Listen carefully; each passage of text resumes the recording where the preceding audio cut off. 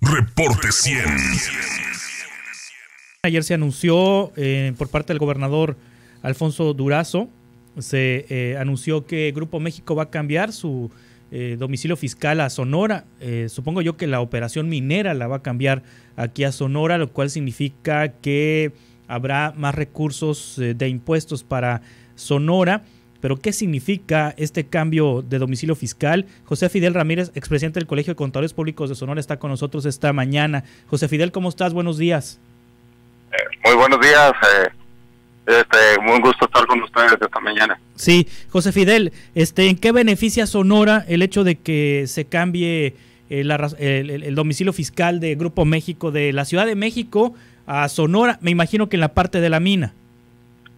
Sí, eh, bien. ¿Qué, puede beneficiar que se atribuya al Estado de Sonora este, este, digamos, la producción que pudiera generar esa área de, Grupo México? Eh, mira, parte de lo que recibimos eh, en, en el Estado o en los municipios también tiene que ver con la actividad económica. Si hay una redistribución ahí de los impuestos federales, que es una que le llamamos las participaciones federales que se reciben que se reciben directamente calendarizadas todos los años. Y una parte de esta cantidad que se determina a repartir a las entidades federativas pues tiene que ver con el con un factor que se llama PIB es el producto interno bruto. Entonces hay una parte ahí que pudiera ayudar que se le atribuyera a Sonora una participación en el PIB nacional eh, este, en base a este cambio de domicilio que, que, se está proponiendo hacer. Pero no es el único factor que cuenta para la redistribución, también y está incluido un aspecto poblacional que no es muy elevado en nuestro estado, pero digamos que puede generar una ayuda. ¿De qué tanto será? Pues habrá que hacer la evaluación cuando cuando este, tengan los datos del PIB y el, el acuerdo de reparto se publique en el diario oficial de la Federación y básicamente los efectos que podríamos tener de eso no los vamos a ver de inmediato, los vamos a ver en más de un año, o sea, lo estaríamos viendo tal vez para el 2023. Sí. Sí. ¿Cuánto paga de impuestos Grupo México eh, a, través de sus operaciones de, de Cananá y Nacosari? No tengo el dato exacto, pero pues es un grande contribuyente, es una es una empresa que tiene bastantes ingresos, pero no necesariamente contaría es, eh, eh, específicamente cuánto pagan ellos, sino el factor que representaríamos nosotros en una fórmula que está contenida en la Ley de Coordinación Fiscal. Sí. Para ponerte en contexto, actualmente tenemos alrededor del 2.3, 2.4% de las participaciones eh, o del fondo participable es lo que nos llega a Sonora.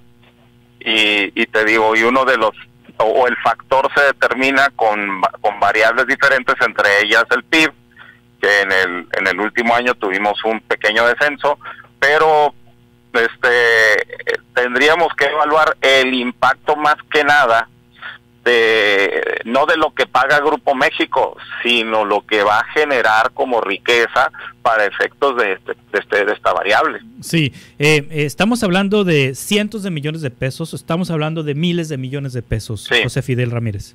Pero no nos va a llegar directamente eso a nosotros, porque es una, una parte es, es, es lo que se reparte de eso. Insisto, no tanto en directo en la captación de o la generación del impuesto de este grupo, sino más que nada el impacto que pudiera tener en el Producto Interno Bruto atribuido al Estado. Sí, claro, eh, eh entiendo. Entonces, aparte, es decir, eh, la, la contribución de Sonora en el Producto Interno Bruto va a crecer porque el domicilio fiscal de Grupo México estará aquí en Sonora.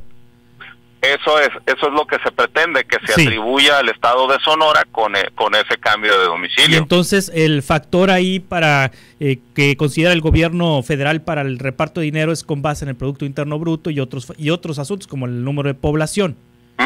sí. Así es, así es, el que tendría el impacto directo sería el Producto Interno Bruto. Sí, exactamente. Em, y eh, José Fidel Ramírez también dice, el gobernador Alfonso Durazo mencionó a la empresa Ford, y a Bachoco y a Bachoco, que son también pues empresas grandes. Yo no sabía que Ford tenía no tenía su registro aquí en Hermosillo, es decir, la planta Ford de Hermosillo eh, entonces tributa en la Ciudad de México.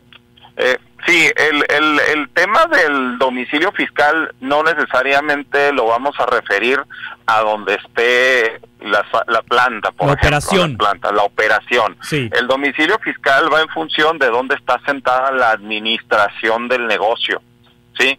Entonces, si la administración está sentada, el consejo de administración o el órgano que o el órgano de gobierno de, la, de la empresa está sentado en un lugar en específico, ahí es donde está el domicilio fiscal, ¿sí? Y puede tener plantas o puede tener sucursales o puede tener establecimientos donde esté la operación fuerte del negocio, pero no necesariamente esos son domicilios fiscales, ¿no? Son domicilios de sucursal, son domicilios de establecimiento, pero donde se asienta o donde toman las decisiones, se toman las decisiones de negocio, es donde se atribuye el, el domicilio fiscal, ¿sí? Sí. Para esos efectos.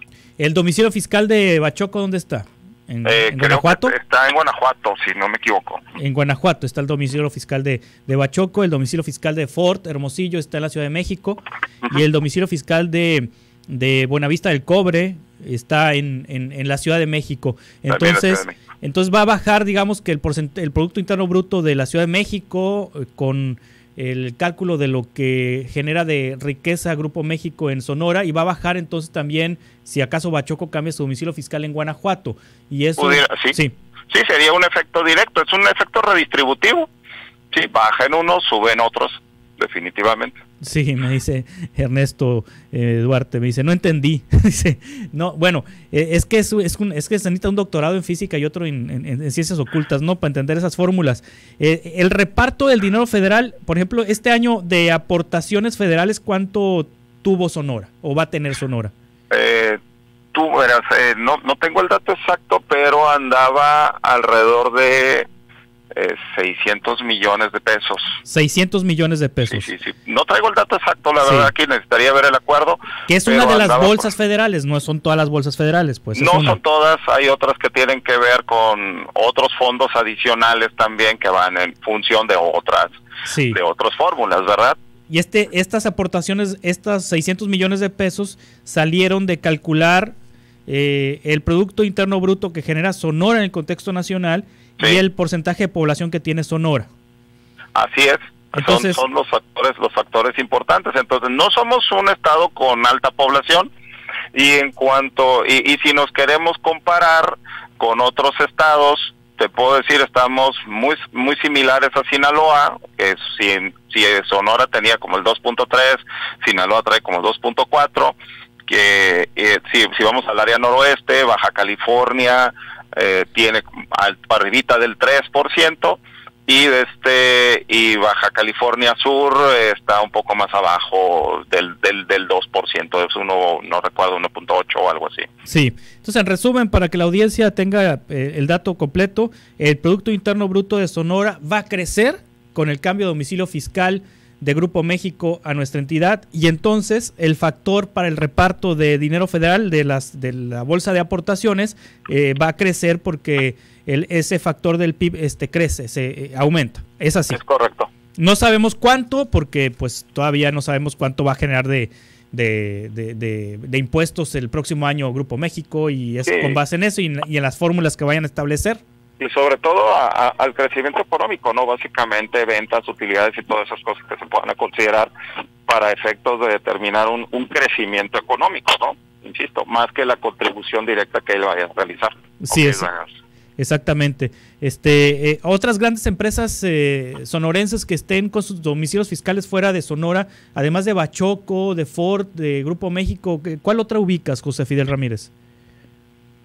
Pues mira, el, el asunto, por ejemplo, en, en el tema de lo, de la, del turismo, Sí, muchas de las de las cadenas que nosotros vemos aquí son este, administradas por por empresas que están fuera, sí, es decir, hay, hay cadenas hoteleras que aquí vemos no necesariamente van a tener su domicilio fiscal en Sonora, lo van a tener a lo mejor donde está su corporativo, que generalmente es Ciudad de México o algo así.